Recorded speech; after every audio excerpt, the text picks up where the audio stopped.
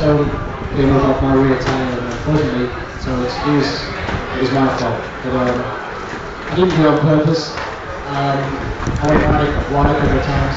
Um, and the last two rounds, I haven't been on the podium, and that was starting to piss me off a bit. So uh, I did everything I could uh, on the grass and on the track. And ended up from uh, across the line first. And, uh, it's a great race, and it's nice to be back on top of the podium. Okay. It's not enough for you to change your mind about tyre choice.